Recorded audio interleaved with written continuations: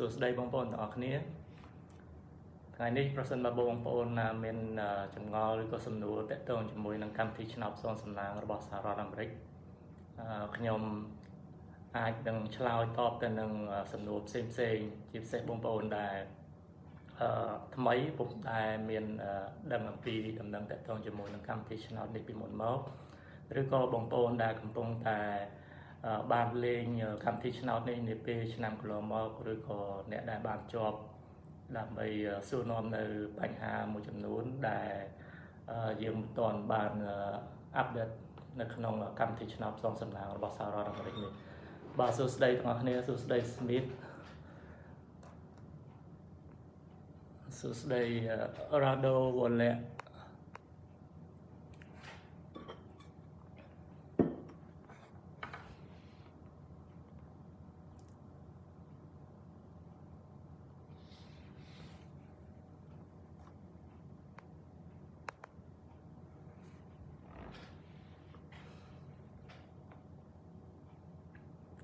អឺឆ្នាំ2021កម្មវិធីអឺអ្នកដែលបានជាប់ហ្នឹងអឺគឺអ្វីដែលខ្ញុំបានដឹងនៅពេលកន្លងមកគឺមានដំណើរការជាបណ្ដាបណ្ដាហើយនៅពេលថ្មីថ្មីនេះមានបងប្អូនយើងគាត់បានជាប់រហូតដល់បានមកដល់សហរដ្ឋអាមេរិកនេះហើយអញ្ចឹងអឺពលៈចង់សួរអឺសំណួរហ្នឹងជាក់លាក់យ៉ាងម៉េចដែរពីព្រោះអីតកតងជាមួយនឹងដំណើរការហ្នឹងគឺ នៅធ្វើឡើងជាធម្មតាបាទសួស្តីបង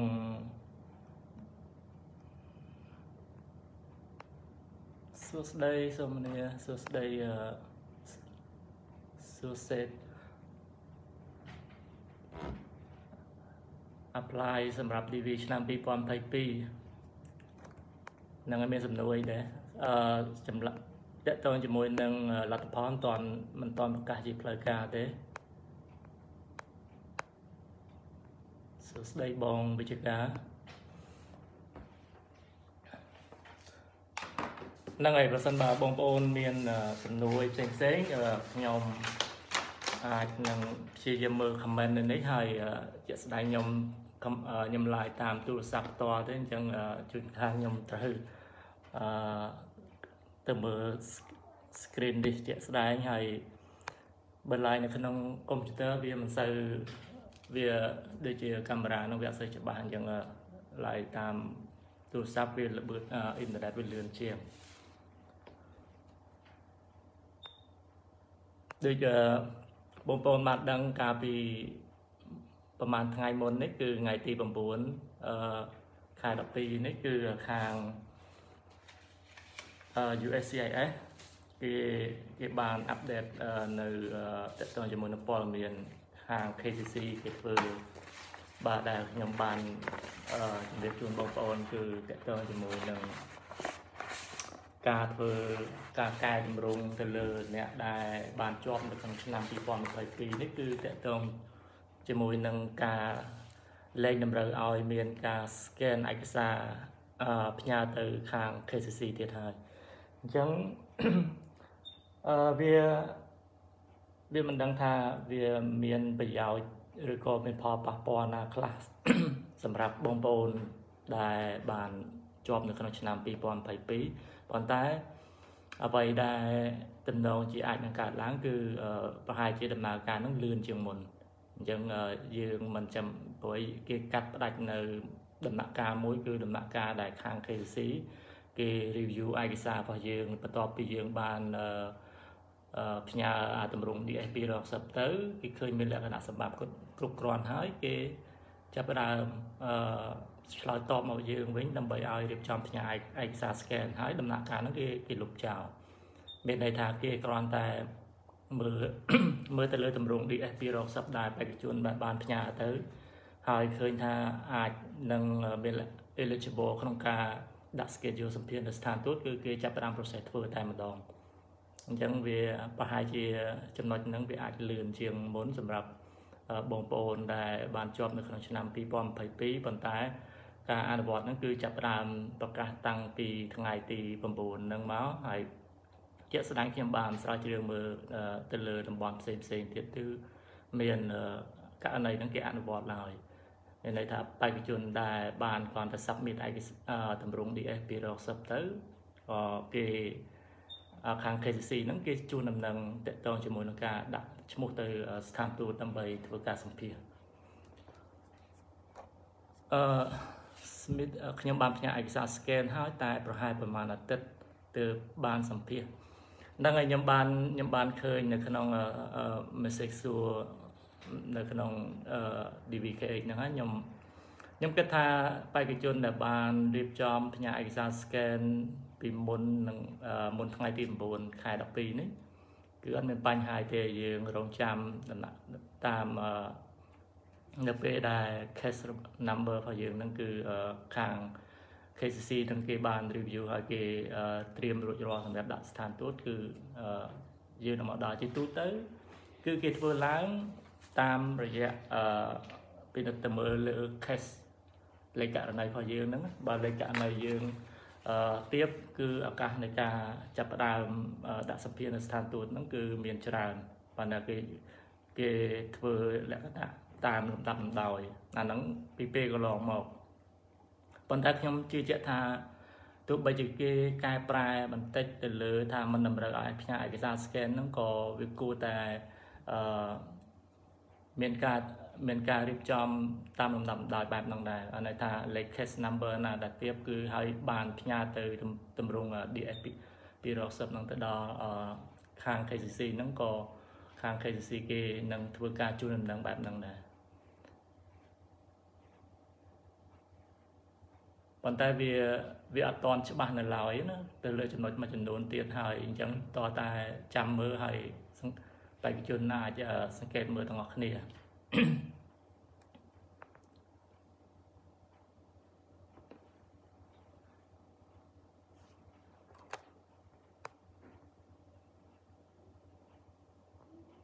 សួស្តីបងរិទ្ធីសវណ្ណឆានី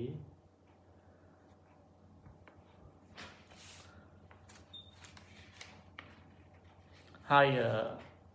ដូចបងប្អូនបានដឹងហើយគឺខ្ញុំបានប្រាប់តទៅជាមួយនឹងការធ្វើបច្ចុប្បន្នភាពនៅក្នុងអឺការកែតម្រង់វីសាសម្រាប់អ្នកបានជាប់នៅក្នុងឆ្នាំ2022របស់កម្មវិធីឆ្នោត DV ហ្នឹងគឺបងប្អូននៅតែត្រៀមនៅរាល់ឯកសារតម្រូវផ្សេងផ្សេងហើយខ្ញុំជឿជាក់ថាចំណុចហ្នឹងឯកសារហ្នឹងនៅពេលដែល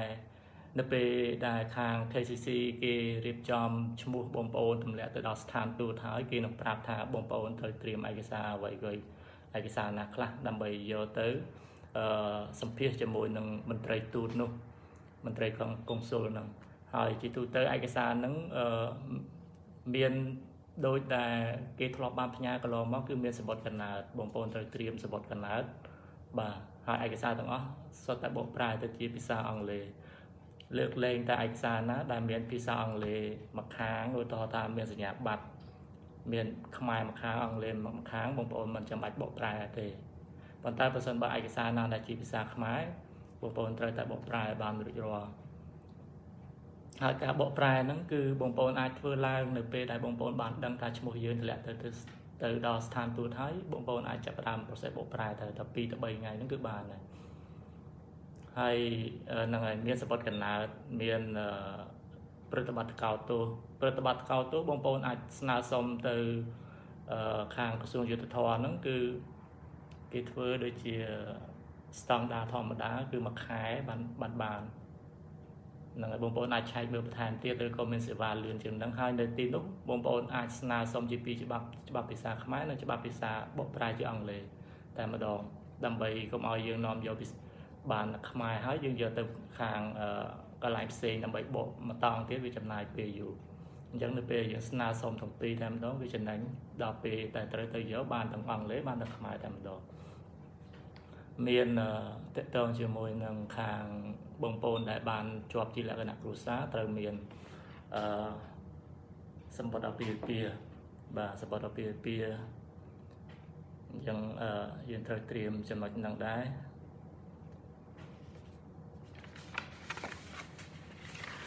ហើយសញ្ញាបត្របងប្អូនសញ្ញាបត្របងប្អូន គឺត្រូវយកទៅភ្ជាប់ជាមួយដែរហើយបងប្អូនយើងសួរខ្ញុំតកតងជាមួយនឹងអ្នកដែលបានរៀនបញ្ញាបត្ររងដោយគាត់ពុំទាន់បានប្រឡងជាប់នៅក្នុងកម្រិតការសិក្សាថ្នាក់ទី12ដោយសារតែគាត់អឺមិនបានជាប់ហើយគាត់ទៅរៀនបរិញ្ញាបត្ររងហើយបានបន្តរហូតដល់បរិញ្ញាបត្រអ្នកខ្លះរៀនដល់អនុបណ្ឌិត តទៅទៀតអញ្ចឹងសំណួរសួរថាតើគាត់មានលក្ខណៈសម្បត្តិគ្រប់គ្រាន់ដែរអត់អានេះចម្លើយដែលខ្ញុំអាចនិយាយគឺមិនមិនហ៊ាននិយាយ100%ទេប៉ុន្តែបើសិនបើខ្ញុំជាបងប្អូនគឺខ្ញុំគិតថាខ្ញុំត្រូវតែសាកល្បងដែរពីព្រោះ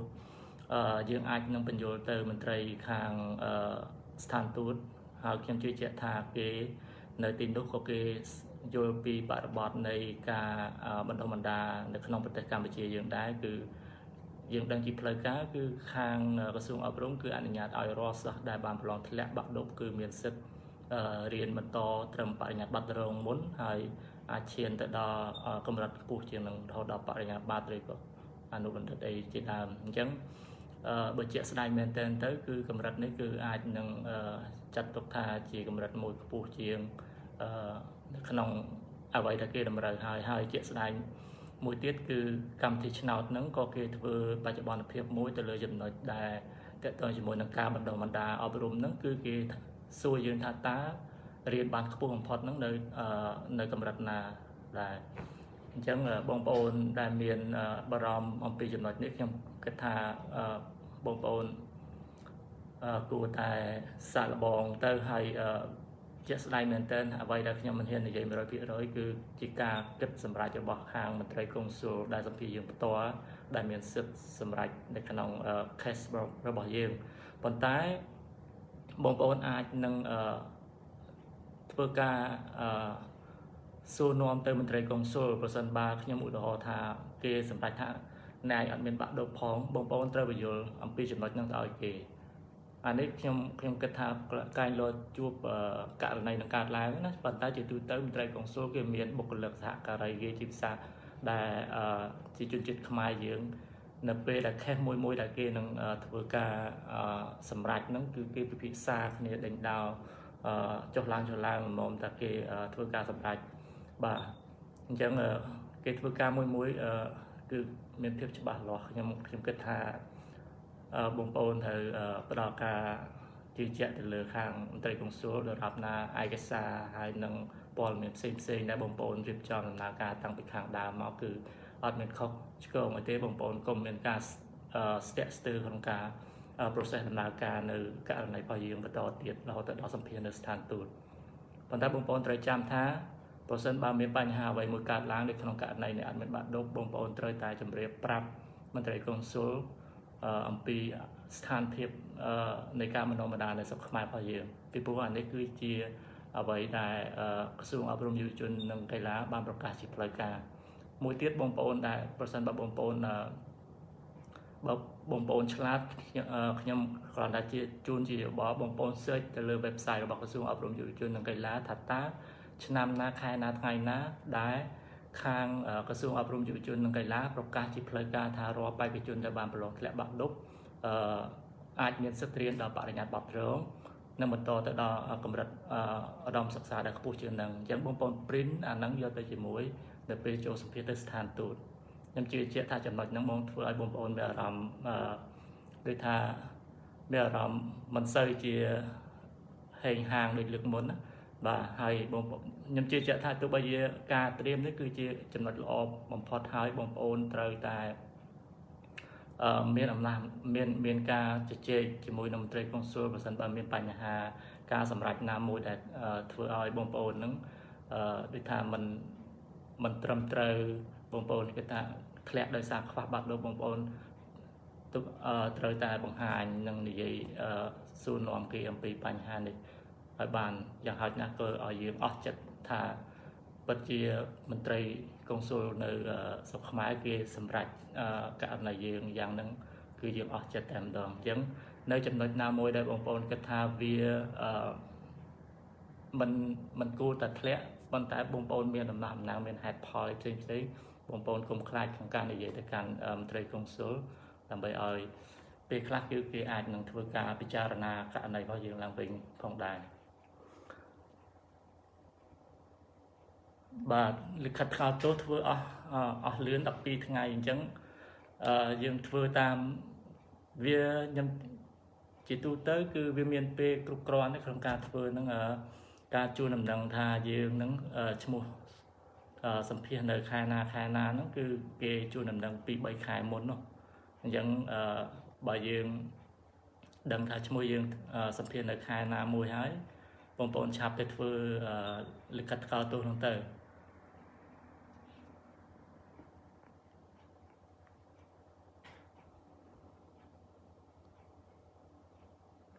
ចំពោះឥឡូវហ្នឹងខ្ញុំអត់ហ៊ានបាញ់ប៉ាន់ស្មានថាលេខ case number ប៉ុណ្ណេះគួរតែបានសម្ភាសនៅពេលណាដោយសារតែ ទីមួយគឺនេះពេលថ្មីថ្មី មានការអាប់ដេតបាទមានការអាប់ដេតតទៅជាមួយនឹងអាអាគេធ្វើ pilot សម្រាប់ DV visa ឆ្នាំ2022ហើយគេបញ្ជាក់គឺគេធ្វើសាកល្បងមួយឆ្នាំហ្នឹង បើសិនបើអឺដំណើរការនៅក្នុងឆ្នាំហ្នឹងគឺប្រព្រឹត្តទៅល្អបានន័យថាអ្វីៗធ្វើទៅរលូនដោយការគេបានគ្រោងទុកហ្នឹងគឺច្បាស់ណាស់គឺនៅឆ្នាំបន្ទាប់គឺនឹងមានការអនុវត្តបែបនេះតទៅទៀតហើយបើចំពោះខ្ញុំលេខ case number ប៉ុណ្ណឹង Smith គឺជាបទពិសោធន៍គឺអាចនឹងក្នុងវងជុំវិញខែ 3ខែ4បាទខែ3ខែ4អានេះបើយើងយើងយើងអាចដឹងយើងអាចអាសាមើលអា visa bulletin ណា visa bulletin ដែលគេបោះពុំចេញផ្សាយរាល់ឆ្នាំយើងគិតថាមួយខែវាតម្លាក់លេខមកឲ្យដល់បេក្ខជនដែលត្រូវចូលទៅសម្ភាសហ្នឹងប្រមាណខែក្រោយប្រមាណដែលខ្ញុំតែងធ្វើការអាប់ដេតជារៀងរាល់ខែផងដែរ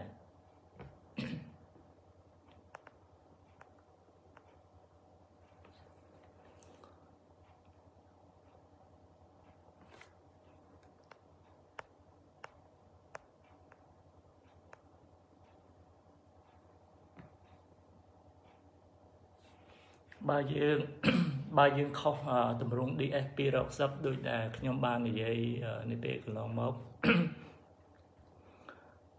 ទីមួយយើងអាចខុសដោយអចេតនាប៉ុន្តែប៉ុន្តែករណីករណីដែលយើងមានការខុសឆ្គងប៉ុន្តែមានអ្វីដែលជាអំណះអំណាងក្នុងការកែសម្រួលនឹងវិញ មានន័យថាបើសិនបើយើងបានកែហើយ ខេតរបស់យើងអត់មានបញ្ហាយើងមិនមែនខ្ញុំចង់និយាយថាយើងអត់មានអត់មានឈិតអត់មានបោកគេណាតែថា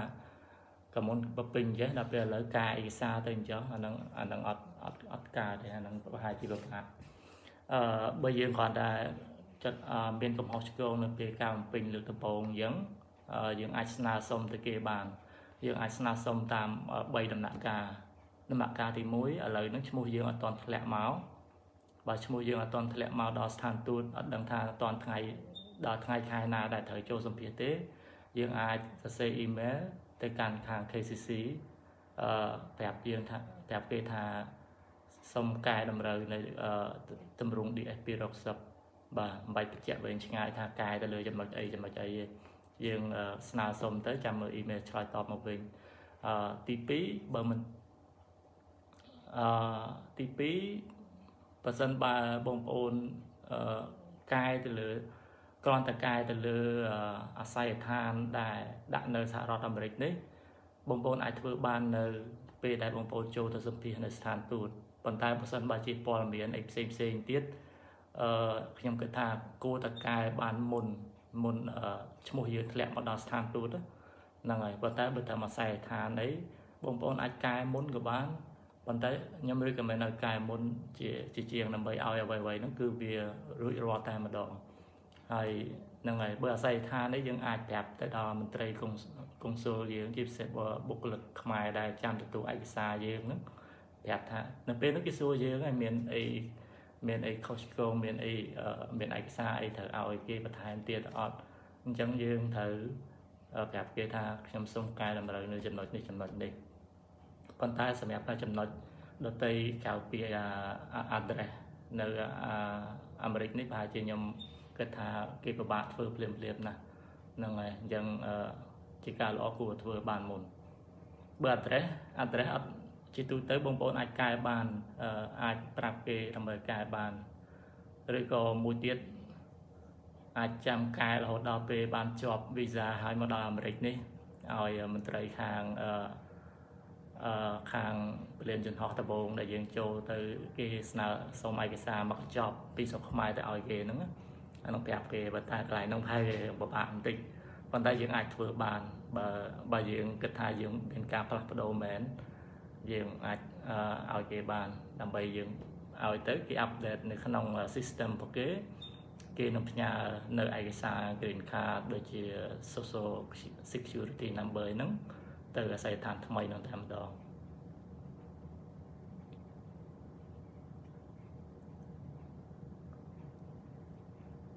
អឺសំណាងការចុះឈ្មោះហ្នឹងគឺចាំរៀងរាល់រៀងរាល់ឆ្នាំ គឺធ្វើឡើងនៅខែ5តែតែដល់ខែ5ហ្នឹងគឺចាប់ផ្ដើមគេមុននឹងប្រហែលជាមួយអាទិត្យអីហ្នឹងគេមានការជូនដំណឹងហើយជាទូទៅស្ថានទូតនៅស្រុកខ្មែរយើងហ្នឹងគឺនៅក្នុង Facebook page ហ្នឹងគឺគេមានប្រាប់អឺជូនដំណឹងថាចាប់បើទទួលចុះឈ្មោះតាមប្រព័ន្ធអនឡាញហ្នឹងពីពេលណាដល់ពេលណាហើយ website ដែលចុះឈ្មោះហ្នឹងគឺមានតែមួយទេអត់មានអត់មានឃើញ website ណាផ្សេងក្រៅពី dbprogram.state.co ហ្នឹងទេអញ្ចឹងបងប្អូនកុំមានការយល់ច្រឡំថាម្ដងនៅក្នុង Facebook ឃើញ load website នេះឲ្យប្រពេញឆ្នោតបាន website នោះឲ្យប្រពេញឆ្នោតតាមពិតគឺ website គឺប្រើការតែមួយតែមួយដូចខ្ញុំបាននិយាយអំបញ្ញមិញហ្នឹង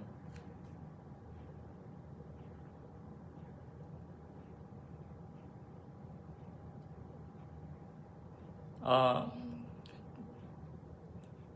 John Smith ចាំហ្នឹងហើយអត់អត់មានអីគេ គេអត់មានសួរអីច្រើនប្រហែលទេបើខេះយើងមិនស្មុគស្មាញបាទបើនិយាយមែនតើទៅករណី DV បងប្អូនដែលបានជាប់អដែលបាន select នៅក្នុងដំណាក់កាលដំបូងហ្នឹងឲ្យតែយើងប្រកាសថាខ្លួនឯងហ្នឹងឯកសារអ្វីអ្វីផ្សេងផ្សេងទៀតហ្នឹងព័ត៌មានហ្នឹងគឺត្រឹមត្រូវតាំងពីលេងឆ្នោតពីដំបូងហ្នឹងបងប្អូនមានសង្ឃឹមច្រើនមែនតើ បាទមានសង្ឃឹមរហូតខ្ញុំអាចនិយាយថា70 80%នោះអញ្ចឹងហើយងាយស្រួលជាងប្រភេទនៃការសម្ភារសុំទឹកការផ្សេងផ្សេងទៀតផងដែរសម្ភារយ៉ាងអ្នកខ្លះសម្ភារមានបទពិសោធន៍សម្ភារតែ5នាទីក៏មាន10នាទីក៏មាន អ្នកខ្លះរហូតដល់កន្លះម៉ោងជាពិសេសអ្នកដែលមានលក្ខណៈគ្រួសារហើយមានករណីស្មុគស្មាញអីចឹងណាជួនកាលអ្នកខ្លះដាក់តែពីអ្នកប្តីប្រពន្ធដំបងហើយក្រោយមក ដឹងខ្លួនជាប់ មានកូនមួយទៀតអីចឹងអញ្ចឹងមន្ត្រីកុងស៊ុលគេត្រូវសួរនាំច្រើនដើម្បីបង្ហាញហើយដើម្បីឲ្យបេក្ខជននឹងបង្ហាញជាផុសតាងថាអ្វីអ្វីដែលកើតមានក្រោយពេលជាប់ឆ្នោតនឹងពិតជាដូចជាកូននេះនឹងពិតជាកូនពួកគេជារបស់បេក្ខជននឹងជាស្ដាយមែនតែនមានវិកតស្នាមឲ្យត្រឹមត្រូវអញ្ចឹងណាអញ្ចឹងតែអាចធ្វើឲ្យពេលវេលានៃការសម្ភាសន៍ហ្នឹងយូរជាង ប៉ុន្តែបើបេក្ខជនខ្លួនមួយជួនកាល5នាទីក៏មានដែរគេឲ្យគិតថាអត់មានបញ្ហាអត់មានអីទេគឺគេប្រាប់យើងតែម្ដងជាប់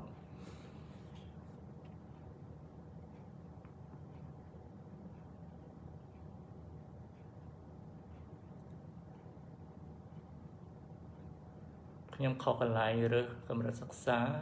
យើងបានរៀនខ្ពស់ប៉ុណ្ណាកន្លែងដែរកន្លែងកែបានអត់ អឺដាក់ដាក់កម្រិតសិក្សាហ្នឹងយើងអាចកែបានតាបើយើងចង់សាកល្បងស្នើសុំទៅគេបានប៉ុន្តែជំរឿនមួយទៀតបើសិនបើយើងអត់តន់ចង់កែឥឡូវនៅពេលឈ្មោះរបស់យើងបានធ្លាក់មកដល់ស្ថានទូតហើយអាចអាចចាំយកឯកសារទាំងអស់នោះយកទៅតែម្ដងដើម្បីបង្ហាញគេថា យើងមានកម្រិតការសិក្សាហ្នឹងបានកម្រិតនេះកម្រិតនេះអ្នកខ្លះគាត់រៀនអត់តន់ចប់អញ្ចឹងគាត់អាចដាក់បានទេគាត់គាត់ដូចទៅថាយើងរំពឹងថា2ខែទៀតយើងចប់បញ្ញាបត្រប៉ុន្តែបងប្អូនបានបំពេញ DSP 60នៅថ្ងៃនេះអញ្ចឹងបើគិតត្រឹមថ្ងៃយើងបំពេញហ្នឹងយើងអត់តាន់បានជាប់ជាផ្លូវការទេបងប្អូនអឺมันចាំបាច់តន់ដាក់ទេ នៅពេលដែលជាប់សម្ភារទៅដល់ស្ថានទូតនោះ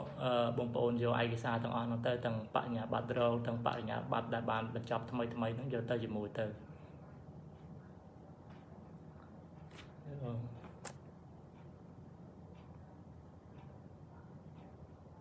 អញ្ចឹងបើបងប្អូនដែលបានចូលទៅសម្ភារហ្នឹងចាំ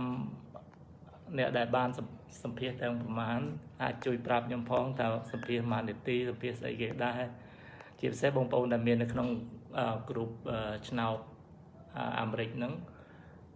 ហ្នឹងហើយអាចអាចផុសបានដោយសេរីនៅក្នុងគ្រុបហ្នឹងតកតងជាមួយនឹងការចែករំលែក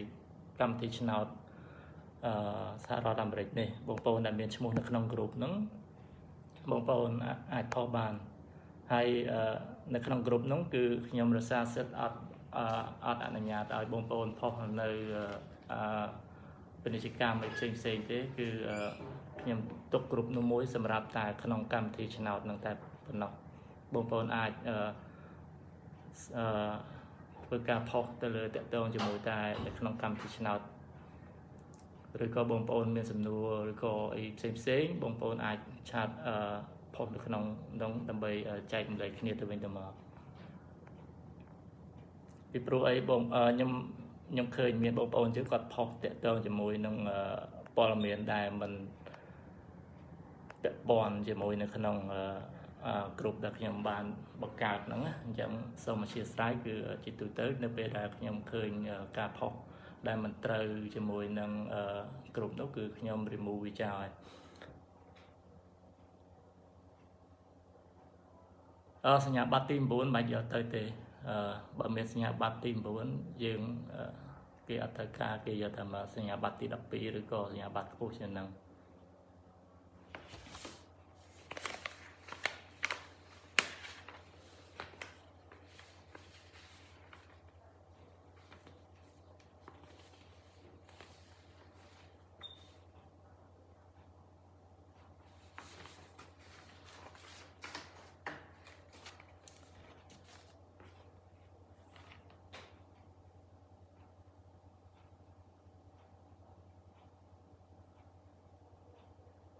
ខុសរូបថតមិនទៅ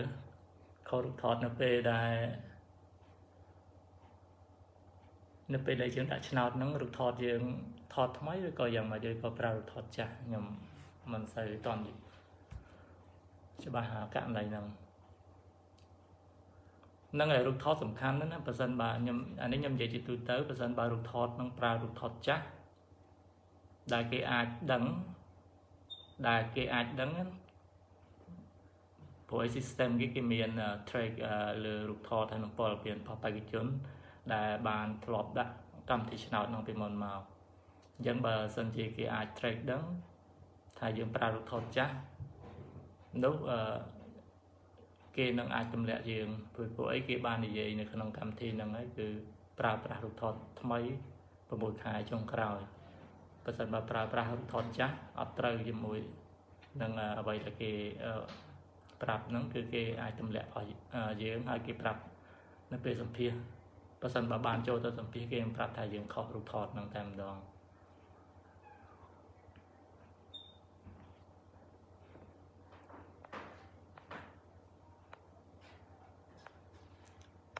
ហ្នឹងហើយបងប្អូនដែល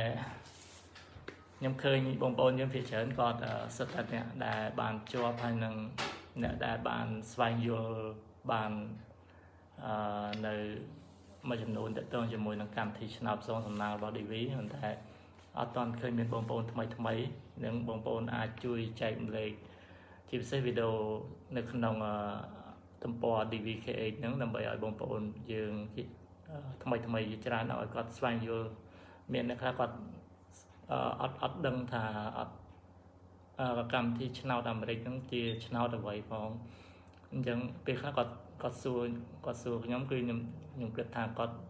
អត់ដែលអត់ដែលដឹងព័ត៌មាននឹងពីមុនមកយ៉ាងសូមជួយចែកម្លែកបន្តទៅឲ្យបងប្អូនយើងដទៃទៀតផងអឺបុទ្ធីសញ្ញាបត្រអសរឡាតាំងខុសជាមួយនឹងអត្តសញ្ញាណប័ណ្ណនិងប៉ាសពតតើយើងគួរកែប្រែឬមិនបាច់ ហ្នឹងហើយអាហ្នឹងអឺកំហុសឆ្គងហ្នឹងវាមានចំពោះបេក្ខជនមួយចំនួនខ្ញុំសង្កេតឃើញដែរអ្នកខ្លះគាត់ខុសអាអាសូឡាតាំងនៅក្នុងបញ្ញាបត្ររបស់គាត់ខ្ញុំមិនដឹងថាហេតុអីបានវាវាគួរវាវាមានកំហុសអាកន្លែងហ្នឹងអឺអញ្ចឹងបងប្អូននៅចាប់អារម្មណ៍ជាពិសេសអ្នកដែលកំពុងរៀន មុននឹងគេចេញសញ្ញាបត្រឲ្យយើងគឺគេបានសួរឲ្យយើងបំពេញតម្រងឲ្យច្បាស់លាស់សរសេរអក្សរច្បាស់ច្បាស់ដើម្បីប៉ុន្តែអឺបើសញ្ញាបត្រនឹងអឺជាទូទៅតែគេចេញឲ្យអា original ឲ្យប្រហែលជាគេគេកែនឹងប្របាក់កែទៅហើយអ្នកខ្លះនឹងខុសទៅដល់ថ្ងៃខែឆ្នាំកំណើតខ្ញុំធ្លាប់ ឃើញបងប្អូនយើងគាត់សួរអញ្ចឹងយើងត្រូវគិតថាបើខុសខុស spelling ការប្រកបអក្សរតាំងនេះខុសអឺមកមកពាក្យណាមួយអញ្ចឹងអញ្ចឹងយើងអឺដរាបណាដែលយើងមានប៉ាសពតអឺសពតកណើតសពតកណើតអ្នកខ្លះមានជាភាសាខ្មែរអញ្ចឹងនៅពេលទៅទៅឲ្យគេបកបងប្អូនត្រូវប្រយ័ត្ន ត្រូវបកធ្វើម៉េចឲ្យដោយសញ្ញាបត្ររបស់យើងសរសេរឲ្យគេព្រោះអីអឺតែពេលនោះគេឲ្យយើងសរសេរប៉ុន្តែសរសេរច្បាស់ច្បាស់ឲ្យគេកុំឲ្យបកឲ្យបកខុសទៀតហ្នឹងហើយសបុតកណើតប៉ាសពតដូចគ្នាបើសញ្ញាបត្រហ្នឹងក៏ខុសមកមកក៏ខុសក្នុងការសរសេរហ្នឹងទេថ្ងៃខែឆ្នាំកំណើតដូចគ្នាអាហ្នឹងដូចជាកំហុសហ្នឹង យើងអាចនិយាយថាវាមិនធំប្រមាណទេវាមិនកំហុសឆ្កងធំប្រមាណទេប៉ុន្តែយើងអាចមានអឺការបញ្ជាក់មួយទៀតកាន់តែល្អសម្រាប់ករណីរបស់យើងខុសហ្នឹងបានន័យថាអាចសុំលិខិតបញ្ជាក់ពីសាលាបើសិនបើអាចធ្វើបានថាបែកពីដូចថាឈ្មោះយើងនេះការចេញសញ្ញាបត្រគឺគេសរសេរបែបហ្នឹងមកហើយជាក់ស្ដែងគឺបុគ្គលហ្នឹង គឺមានអឺជាបុគ្គលដែលដូចគ្នាជាមួយនឹងដែលមាននៅក្នុងលិខិតឆ្លងដែនដែលសរសេរបែបនេះអញ្ចឹងយើងអាចទៅវិភាសាជាមួយនឹងខាងមន្ត្រីនៅសាលាធ្វើការនៅសាលាដើម្បីក្រែងលោកគេអាចចេញនៅលិខិតមួយឲ្យយើង ដើម្បី support ថាសញ្ញាបត្រហ្នឹងពិតជាសញ្ញាបត្ររបស់យើងអញ្ចឹងណាយើងបងប្អូនដែលបារម្ភខុសឆ្គងទៅលើទៅលើតកតងជាមួយនឹង ការខុសទៅលើថ្ងៃខែខុសទៅលើអឺការការសរសេរដែលគិតថាมันអាចកែប្រែបានសាលាมันអាចចេញឲ្យជាលើកទី2បានទេបងប្អូនទៅវិភាសាជាមួយសាលាហើយយកឯកសារអត្តសញ្ញាណរបស់យើងទៅជាមួយដើម្បីឲ្យខាងសាលាថាតើគេអាចនឹងចេញលិខិតកែតម្រូវមួយ support មកអត់អានោះសំខាន់ណាបងប្អូនហ្នឹងហើយ អញ្ចឹងបើសិនបើយើងបានហើយបងប្អូនមិនបាច់បារម្ភអីទៀតទេបងប្អូនមានភាពកក់ក្ដៅក្នុងចិត្តដែរនៅពេលចូលទៅសម្ភារអាហ្នឹងឯងដែលខ្ញុំថាត្រូវមានឯកសារក្រៅពីអ្វីដែលគេតម្រូវនឹងឯកសារណាដែលបងប្អូនគិតខ្លួនឯងថាវាអាចជួយឲ្យយើងកាន់តែច្បាស់កាន់តែឲ្យយើងនឹងបញ្ជាក់ពីភាពស្អាតស្អំពីភាពត្រឹមត្រូវរបស់យើងនឹងក្នុងការចូលទៅសភាហ្នឹងគឺ នៅពេលហ្នឹងគឺបងប្អូននឹងមានសង្ឃឹមច្រើនហ្នឹងគឺជាកលឹះដែលបងប្អូនត្រូវចាំខ្ញុំចែកម្លែកចំណុចហ្នឹងអឺដាក់ឆ្នោតរួចហើយ បាទជូនពរឲ្យជាប់អត់ណែអត់អីហ្នឹងហើយខ្ញុំយល់ហើយថមថមហ្នឹងហ្នឹងហើយអញ្ចឹងអាចសាក់លបងទៅទៅរកឯកសារដែលគេអាចចេញឲ្យអញ្ចឹងបាទ បើបើបើសាលាมันអាចចេញឲ្យបានត្រូវគិតទៅដល់តើកន្លែងណាផ្សេងទៀតដែលអាចជួយបញ្ជាក់ឲ្យយើងអឺក្នុងការអឺប៉ុន្តែអានោះជាជាខ្ញុំគិតថាជា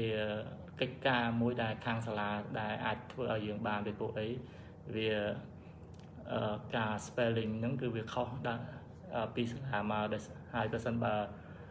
សញ្ញាបត្របាក់ដប់យើងគឺ សញ្ញាបត្របាក់ដប់យើងប្រហែលជាបើឆ្នាំចាស់ចាស់គេសរសេរជាភាសាខ្មែរបើឆ្នាំថ្មីឥឡូវខ្ញុំមិនប្រកាសទេប្រហែលជាខ្មែរដែរហ្នឹងហើយអញ្ចឹងអានោះយើងអាចមានឯកសារអំណាចអំណាងយើងអាចទៅនិយាយជាមួយគេទៅ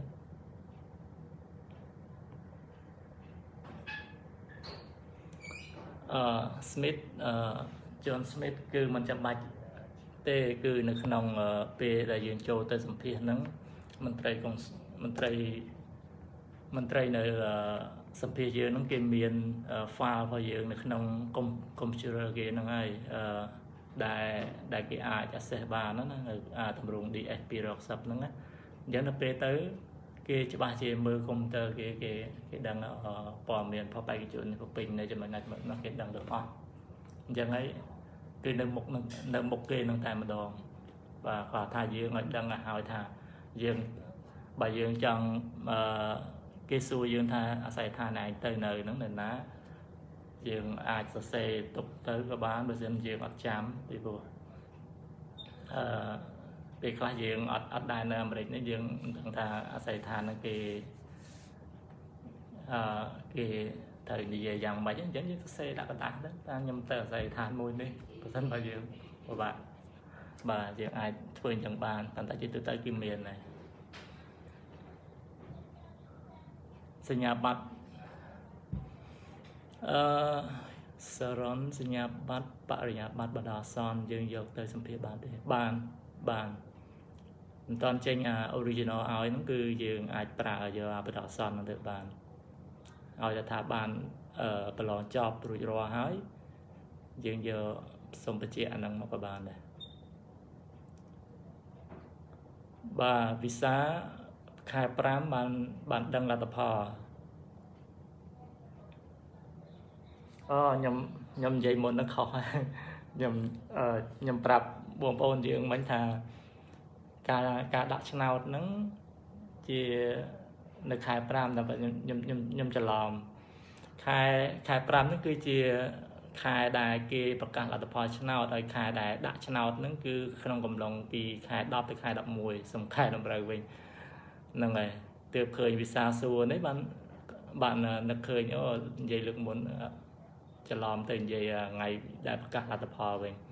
ហ្នឹងហើយការជារឿងរាល់ឆ្នាំ ការដាក់ឆ្នោតហ្នឹងគឺគេដាក់អឺចាប់ផ្ដើមទទួលរយៈពេល1ខែជាទូទៅចាប់ពីខែ10រហូតដល់ខែ11ហ្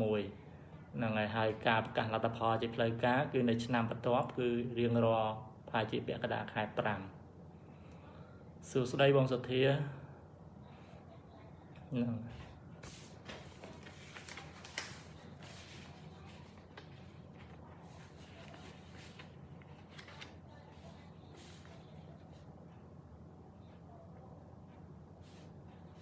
អូខេបងប្អូនមានសំណួរអាចសួរបានបន្តទៀតខ្ញុំ គិតថាខ្ញុំដូចជា live ហ្នឹងមានកន្លះម៉ោងជាងហើយឬក៏បងប្អូនមានសំណួរផ្សេងក្រៅពីខ្ញុំបញ្ចប់ live ទៅ បងប្អូនអាចសាកសួរបានឬក៏អាចផ្ញើនៅក្នុងប្រអប់សារផុស DVKA ទាំងបានជាទូទៅបើសិនបើព័ត៌មានមួយដែលបងប្អូនគិតថាបងប្អូនមិនអាចដាក់ comment ហ្នឹងឬក៏បងប្អូនគិតថាដាក់ចង់ឲ្យមានលក្ខណៈអឺ privacy បងប្អូនអាច mail ចូល mailbox នៅក្នុង DVKA បាទជាជាងកន្លែងរកព័ត៌មានបងប្អូនគិតថាអត់ចង់ឲ្យអ្នកដទៃឃើញ comment របស់យើងប៉ុន្តែបើព័ត៌មានទូទៅបងប្អូនគួរតែដាក់ទៅបងប្អូនគួរតែដាក់នៅក្នុង comment ហ្នឹងជាទូទៅខ្ញុំព្យាយាមមើលទៅលើ comment ថ្មីថ្មីដែរបានសួរនៅក្នុងនៅក្នុងនៅក្នុងវីដេអូមួយមួយដែលបងប្អូនកំពុងតែមើលហ្នឹង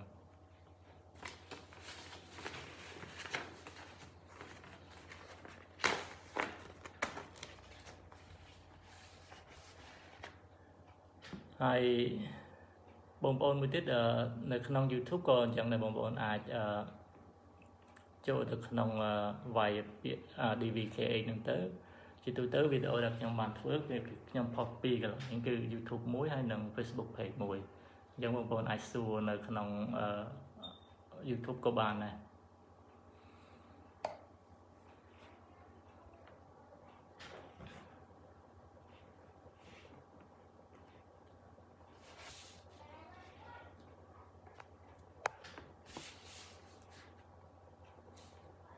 អឺខ្ញុំអត់ដឹងថាបងប្អូនបានទទួលដំណឹងទៅលើករណីឆ្នាំ2020 2020ដែលខ្ញុំបាននិយាយវីដេអូរឿងយូរដែរហើយតកតងជាមួយនឹងការសម្រេចថាគេនឹងផ្ដល់ចំនួនវីសាទៅឲ្យបងប្អូនដែលបានអឺជាប់នៅក្នុងឆ្នាំ2020ចំនួនវីសាដែលគេ ដែលគេឲ្យកាលនោះដូចជា9905វីសាដែលដែលគេឲ្យទៅ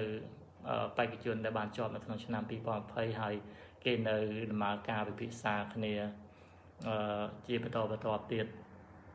ពីព្រោះអីដោយសារស្ថានភាពកូវីដហើយនឹងការដែលពួកគេនឹងមិនបានឈានទៅដល់ការសម្ភាសតាន់ពេលវេលានៅក្នុង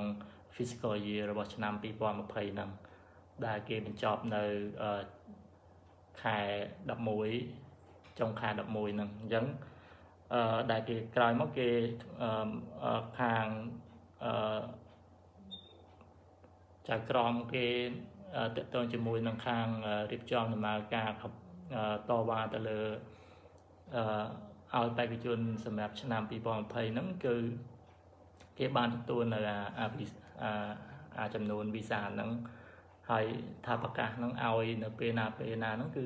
ពេលនោះគឺមិនទាន់បាននិយាយជាផ្លូវការទេហ្នឹងហើយអញ្ចឹងចំណុចនេះខ្ញុំចង់អាប់ដេតឲ្យបងប្អូន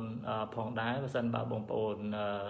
ពុំទាន់បានទទួលដំណឹងនឹងពីមុនទទួលដំណឹងនេះពីមុនមកគឺ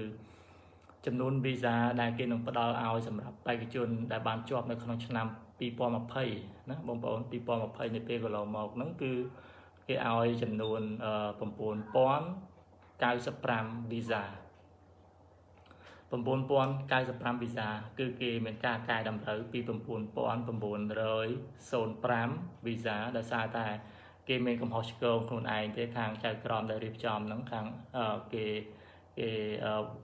ដោយសារមានកំហុសឆ្គងការវាយលេខហ្នឹងអញ្ចឹងគេក្រោយមកគេកែតម្រូវគឺ9095វីសាគឺនឹងផ្ដល់ជូនទៅឲ្យ បេក្ខជនដែលបានមានឈ្មោះជាប់នៅក្នុងកម្មវិធីឆ្នោតឆ្នាំ2020ហើយចំនួនវីសាហ្នឹងគឺគេនឹង process ដំណើរការឲ្យហ្នឹងគេត្រូវតែឲ្យឲ្យបានចប់មុនបំណាច់ឆ្នាំ2022នៅក្នុង fiscal year ឆ្នាំ2022ខែខែត្រឹមត្រឹមខែ9បាទគឺព័ត៌មានហ្នឹងគឺគេនឹងឲ្យត្រឹមខែ9ថ្ងៃ ទីហើយថ្ងៃទី30ឆ្នាំ2022នេះគឺចំនួនវីសា9095វីសាសម្រាប់បេក្ខជនដែលបានមានឈ្មោះជាប់នៅក្នុងឆ្នាំ2020នេះពេលកន្លងមកហ្នឹងគឺគេត្រូវតែចេញឲ្យតែម្ដងបាទហើយពាក់ព័ន្ធជាមួយនឹងចំណុចថាតើបេក្ខជនណានឹងសភាមុនបេក្ខជនណានឹងសភាក្រោយគឺគេនឹងធ្វើឡើងតាមរយៈ random order តាមលំដាប់ដោយនៃការដែលគេធ្វើ random ហ្នឹងអញ្ចឹងបងប្អូនដែលមានអឺ case ដែលគេនឹង case ណាដែលទៀបឬក៏យ៉ាងម៉េចខ្ញុំមិនមិនសូវច្បាស់ចំណុចហ្នឹងដែរប៉ុន្តែគេគ្រាន់តែនិយាយតទៅជាមួយនឹងទៅតាមលំដាប់លំដោយនៃការធ្វើ random របស់ឈ្មោះបេក្ខជនដែលមានក្នុងចំណោមអឺបេក្ខជនដែលដែលបានជាប់ឆ្នាំ2020ហ្នឹង អញ្ចឹងបងប្អូនដែលបានជាប់ឆ្នាំ2020ទាំងប្រមាណហ្នឹងគឺដែលមានឈ្មោះគឺបងប្អូនអាចនឹងសង្ឃឹមបានព័ត៌មានតទៅជាមួយនឹងការចូលទៅសម្ភាសដើម្បីទទួលយកវីសាហ្នឹងរហូតមករហូតដល់ថ្ងៃទី30ខែ9បាទឆ្នាំ2022នេះ បាទអញ្ចឹងយើងនៅមានពេលតទៅមុខទៀតជាពិសេសបងប្អូនដែលបានជាប់ឆ្នាំ2022អាចសង្ឃឹមចាំមើលតាមដានតទៅមុខទៀតអ្នកដែលបានខាងមន្ត្រីដែលតកតងជាមួយនឹងរៀបចំ file complaint ឲ្យយើងហ្នឹងគឺយើងនឹងមានការជូនដំណឹងនៅពេលខាងមុខប៉ះសិនបើបងប្អូនមិនទាន់បានទទួលការជូនដំណឹងនៅឡើយ គេខ្ញុំមើល comment បងប្អូនបន្តិច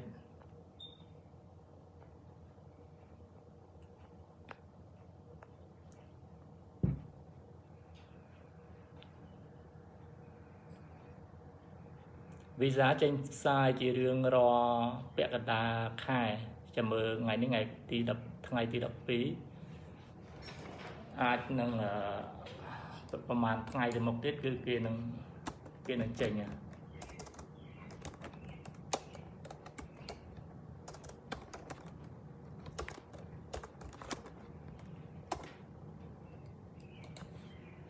ខ្ញុំឆែកមើលបន្តិចឲ្យបងប្អូន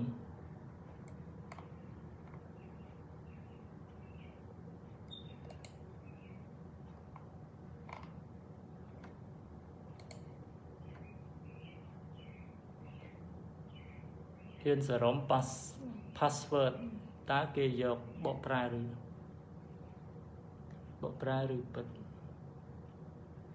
ចង់និយាយប៉ាសពតតើគេយកទៅបកប្រែឬអត់ប៉ាសពតអត់ទេវាមានព័ត៌មានយើងគេសរសេរជាភាសាអង់គ្លេសដែរនៅក្នុងនោះអញ្ចឹងមិនចាំបាច់បកប្រែទេគេត្រូវការតែព័ត៌មាននៅគម្របមុខហ្នឹងយើងកាន់តែប៉ាសពតយើងទៅទៅប៉ាសពតដែលមានសុពលភាពប្រើប្រាស់ជាពិសេសប៉ាសពតដែលបងប្អូនបានផ្ញើនៅក្នុងទម្រង់ DSP 60នៅពេលនោះយើងយកប៉ាសពតនោះទៅ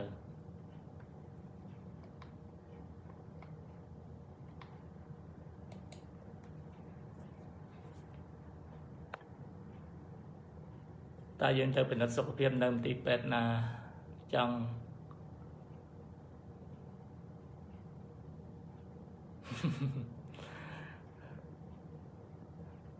អឺចង់ឲ្យបងធ្វើវីដេអូបំពេញតម្រង DF 260ឲ្យយឺតយឺតឲ្យលំអិតអានឹងពិបាកដោយសារតែខនតែខ្ញុំធ្វើអាអាវីដេអូចាស់ហ្នឹងចំណាយពេលយូរអឺ ព្យាយាមមើលអាហ្នឹងទៅហើយអឺជាទូទៅខ្ញុំឃើញបងប្អូនយើងគាត់ចូលចិត្តមើលវីដេអូដែលខ្លីៗមួយរយៈក្រោយនេះខ្ញុំមើលខ្ញុំយើងបានខ្ញុំព្យាយាមធ្វើវីដេអូក្រោម10នាទីកាលពីលើកមុនលើកមុន គឺខ្ញុំធ្វើនឹងច្រើនតែកន្លះម៉ោងទៅជាងទៅយើងខ្ញុំខ្ញុំប្រៀបធៀបខ្ញុំក៏ប្រៀបធៀបទៅឃើញបងប្អូនដែលគាត់ view ទៅក្នុងវីដេអូអាខ្លីៗហ្នឹងឃើញច្រើនជាង អញ្ចឹងវាអាស្រ័យទៅលើប្រធានបទទេប្រធានបទខ្លះត្រូវការនិយាយយូរមែនអញ្ចឹងចាំមើលខ្ញុំតាមពិតខ្ញុំមានហើយអាអារបៀបបំពេញតម្រងហ្នឹងណាបាទអាចចូលទៅមើលឡើងវិញអការពិនិត្យសុខភាពហ្នឹងគឺគេមានអឺអឺកន្លែងពិនិត្យសុខភាព3ដែលជាដៃគូរបស់ស្ថានទូតដែលគេ recommend យើងហ្នឹងគឺនៅទី1នៅ RAFO អឺទី2នៅ អឺ Hope Hope Center Worldwide ហើយទី3នៅអឺនៅផ្លូវនរោត្តមអឺ IOM បាទ IOM អញ្ចឹងបងប្អូនអាចទៅកន្លែងណាមួយក៏បានដែរ3ហ្នឹងមិនមែនទីពេទ្យរដ្ឋឬក៏អីផ្សេងផ្សេងទេឬក៏ clinic អីដែលមិនមែនជា ដៃគូផស្ថានទូទេ គឺមានតែ3កន្លែងហ្នឹងទេ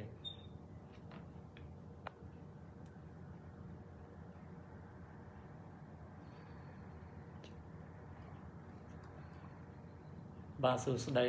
ចចរិយា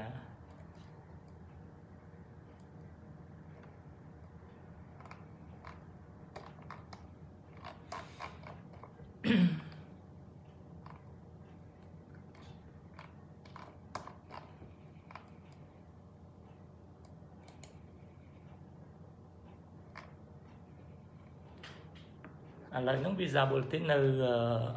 បោះពុំហ្នឹងគឺសម្រាប់ខែ12ហើយខែ1នឹងឈានមកដល់នៅពេលឆាប់ឆាប់ខាងមុខហ្នឹងហើយ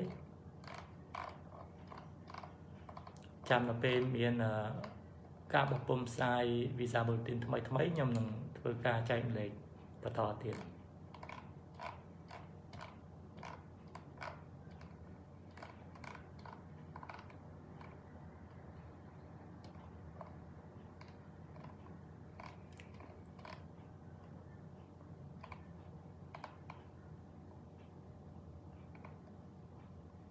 ដែលបងប្អូនបានបានដឹងហើយគឺ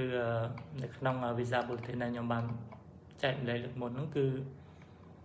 សម្រាប់ខែ12ហ្នឹងមកដល់ត្រឹមដល់លេខ4000ទេហើយលេខ case number មកត្រឹម4000ហើយខែខែ1នឹងមកដល់ក្រោម6000អញ្ចឹងជាមួយវីសារបស់ពុំផ្សាយនាខែបន្តទៀតនេះដែលបងប្អូនដែលសួរខ្ញុំថាអឺ Smith អញ្ចឹង ថាតើវាកើនឡើងប្រហែលបងប្អូនធៀបអញ្ចឹង4000 6000មួយខែក្រោយឡើង6000វាឡើងម្ដង2000យើងក៏ប៉ាន់ស្មានដែរពីខែ1ទៅខែ2ខែ2នឹងនឹងបោះពុំចេញផ្សាយឆាប់ឆាប់ហ្នឹងអាចនឹងឡើង2000ទេវាឡើង8000អញ្ចឹងណាហើយយើងបដិញទៅដល់ case number របស់យើងហ្នឹងទៅដូច case number យើង10000ជាងតើយើង expect នៅក្នុងខែណាប៉ុន្តែ ជាក់ស្ដែងជារឿងរាល់ឆ្នាំបើសិនបើ case number នឹងវាឈានមកដល់ត្រឹមដូចជាខែ8ខែ9គឺគេឡំសាំយកតែម្ដងមានន័យថាលេខខ្ពស់ក៏ក៏លេខខ្ពស់ហើយនឹងលេខទៀបដែលនៅខាងក្រោយដែលលេខគេបោះពុំចុងក្រោយគេហ្នឹងគឺគេឡំសាំយកតែម្ដងគេគេគិតថាវា current ទាំងអស់ឲ្យតែយើងបានផ្ញើ នៅរាល់ព័ត៌មានរបស់យើងនឹងរួចរាល់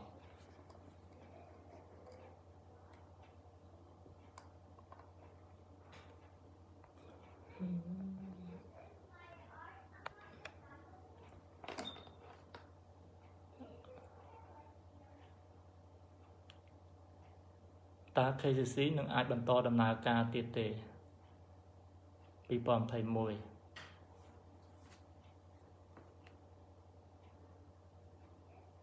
ឆ្នាំ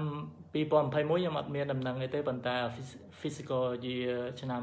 2021គឺបានបញ្ចប់នៅក្នុងអឺចុងខែនៃពេលកន្លងមកបាទ physical year គេហ្នឹងគឺគឺចប់ហើយអញ្ចឹងប៉ុន្តែដំណឹងថាបន្តយ៉ាងម៉េចមានប្រហែលជាប្រហែលជាមិនមានទេមកទៅបាទព្រោះអីព្រោះអីខ្ញុំអត់មានឃើញដំណឹងតាក់ទងជាមួយនឹងគេ complain អឺធ្វើអាករណីនឹងឡើងទៅ តវាយផង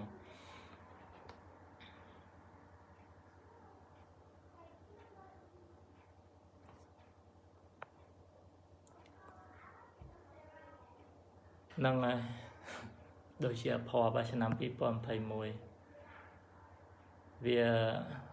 ស្ថានភាពវាយើងទូទាំងពិភពលោកវាកលាប់ចាក់អញ្ចឹងដោយសារបញ្ហា Covid អញ្ចឹង សំបីរងថ្ងៃហ្នឹងបងប្អូនដឹងអ្នកធ្វើការនៅខាង KCC ហ្នឹងមិនមែនសុទ្ធតែជាបុគ្គលិករបស់រដ្ឋាភិបាលបុគ្គលិកខ្លះជាបុគ្គលិកកុងត្រាជួដែលគេយកលុយពីមកឲ្យបុគ្គលិកហ្នឹងតាមរយៈអាអាថ្លៃសម្ភារទឹកតការនៅតាមស្ថានទូតហ្នឹងគឺគេយកលុយហ្នឹងមកប្រើដើម្បីជួមនុស្សមកឲ្យធ្វើការអញ្ចឹងបងប្អូនគិតមើលអឺការធ្វើការហ្នឹងមិនមែន បុគ្គលិកគេនឹងគ្រប់គ្រាន់ក្នុងការដំណើរការលើខេសអញ្ចឹងបានបងប្អូនអឺមានការទទួលដំណឹងអឺនឹងអ្នកខ្លះទទួលអាដំណឹងយឺតអ្នកខ្លះទទួលដល់ដំណឹងលឿនគឺមន្ត្រីខាងធ្វើការនៅខាង KCC ហ្នឹងប្រហែលជាមិនមានគ្រប់គ្រាន់ក្នុងការជំរុញឲ្យដំណើរការនឹងវាបានលឿនទៅតាមអ្វីដែលបានកកស្ទះនៅពេលកន្លងមកហ្នឹងទេ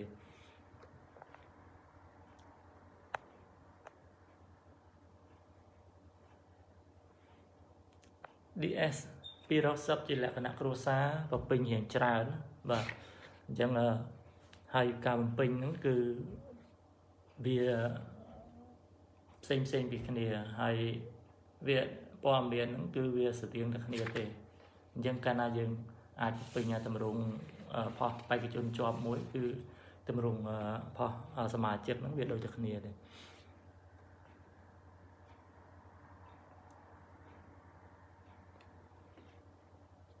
តើពេលចូលសម្ភារកូនអាយុ3ឆ្នាំស្ថានទូតបង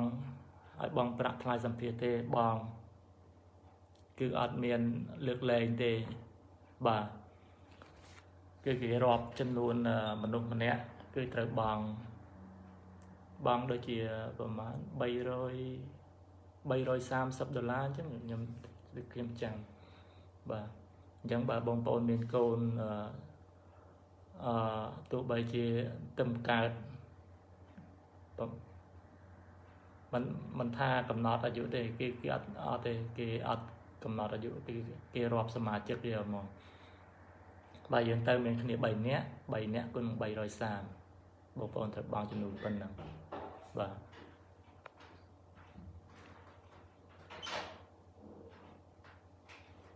យើងត្រូវតាក់ទងទៅពេទ្យទៅខាងទីពេទ្យអាហ្នឹងគេហៅមែនទីពេទ្យកន្លែងទីកន្លែងពិនិត្យសុខភាពអឺ ដោយខ្លួនឯងហើយយើងមានសពតយើងបញ្ជាក់ថាយើងទៅណាខាងនោះគេត្រូវការលេខ case number របស់យើងណាបាទអញ្ចឹងបងប្អូនតែទៅទៅយើងអាចតេទៅគេមុនទៅ IOM ក៏បានទៅ Hope ក៏បានទៅ Raffle ក៏បានហ្នឹងហើយ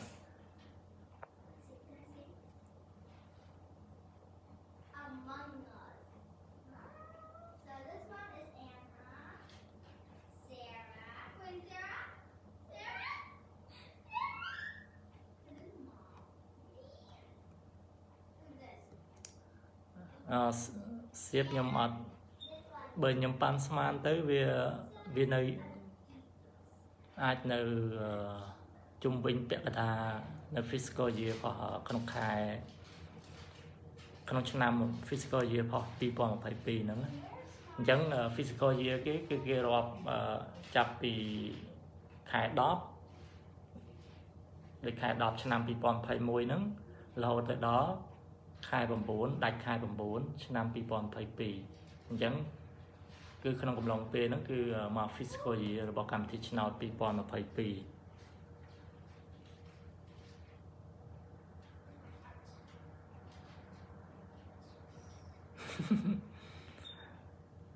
ការលេងឆ្នោតហ្នឹងមានអ្នកខ្លះលេងម្ដងហើយជាប់មានអត់មានតាគាត់ថាយើងអត់ដឹងមានអឺបើចំពោះ ខ្ញុំលេងបាជា2ឬក៏3ដងខ្ញុំចាំថាជាលើកទី2ដងដែរដែលខ្ញុំចាំប៉ុន្តែខ្ញុំដាក់ម្ដងហើយខ្ញុំខានប្រហែលឆ្នាំដែរដោយសារខ្ញុំគិតថាវាគ្មានទៅជាប់អីទេដោយសារថាយើងអត់យល់ច្បាស់ដល់ពេលយើងបានជាប់ទៅយើងស្វែងយល់បន្ថែមច្រើនយើងទៅបានយើងគិតអឺបានដឹងថាកម្មវិធីឆ្នោតហ្នឹងពិតជាគេ ផ្ដល់ឲ្យមែនហើយគេចាប់តាមរយៈលក្ខណៈ random selection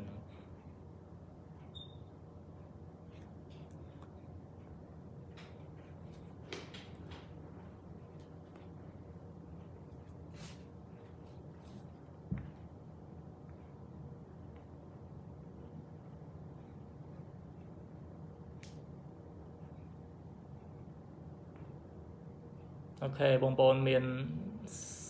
សំណួរផ្សេងផ្សេងទៀតអាច comment សួរបន្ថែម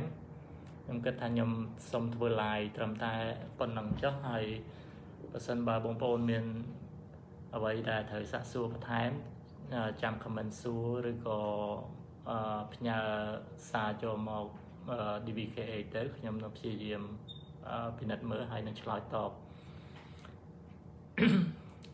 ក្រោយពេលសម្ភាសរួច KCC ប្រាប់លទ្ធផលដល់យើងភ្លាមបាទគេប្រាប់ភ្លាមភ្លាមហ្នឹងឲ្យតែ case យើងមិនស្មុគស្មាញតែជាប់គឺជាប់ហើយបើសិនបើករណីដែលយើងធ្លាក់គេនឹងប្រាប់ហេតុផលរបស់យើងថាយើងអឺធ្លាក់ដោយសារអ្វីហើយមានករណីមួយចំនួនប៉ុន្តែវាកម្រនឹងកើតឡើងគឺគេគេសុំពេលដើម្បីសម្រេចចិត្តវាលក្ខណៈចូល pending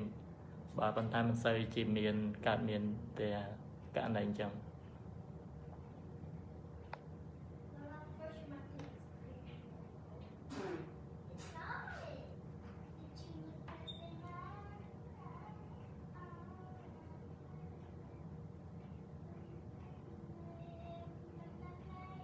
អឺសុភ័ក្រស្អីគេ BBB នេះខ្ញុំអត់យល់មានផលល្អដល់ DV 2021ទេបង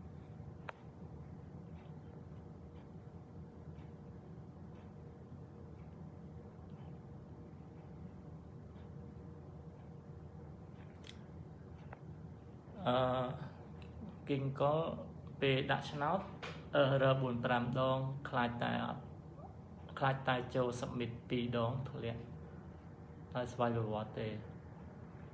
នៅពេលដែលយើងបំពេញឆ្នោតហ្នឹងដរាបណាដែលយើងពុំទាន់បានទទួលលេខ confirmation number លេខកូដបញ្ជាក់អំពីការចុះឈ្មោះហ្នឹងទេអត់មានបញ្ហាទេ មានន័យថាព័ត៌មានដែលយើងបានបំពេញនេះពេលកន្លងមកដោយសារវា error ហ្នឹង គឺអត់មានជាប់នៅក្នុង system គេទេលុះត្រាតែយើងទទួលបានលេខ confirmation number អានឹងបានអានេះគឺឈ្មោះយើងជាប់នៅក្នុង system ហើយអញ្ចឹងចំណុចនេះយើងអាចប្រកាសដឹងថាអឺយើងមានឈ្មោះនៅក្នុង system ឬអត់គឺនៅ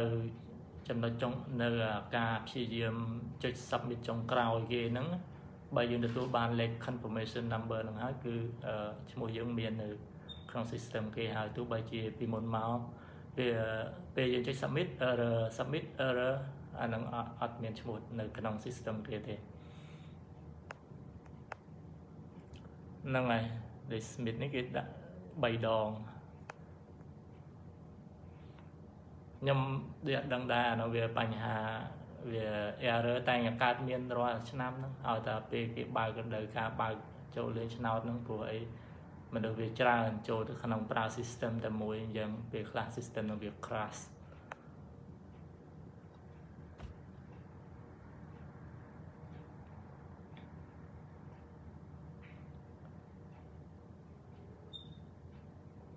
អឺ កណិកា KCC លែងផ្ញើអ៊ីមែលមកហើយចង់និយាយអំពីអ៊ីមែលដែលឲ្យផ្ញើឯកសារ scan គឺគេលែងគេលែងផ្ញើប្រាប់យើងហើយគឺគេអាចនឹងគាត់ជូនដំណឹងអ៊ីមែលយើងប្រាប់ថាឈ្មោះយើងអាចសម្ភារនៅស្ថានទូតនៅពេលណានៅពេលណា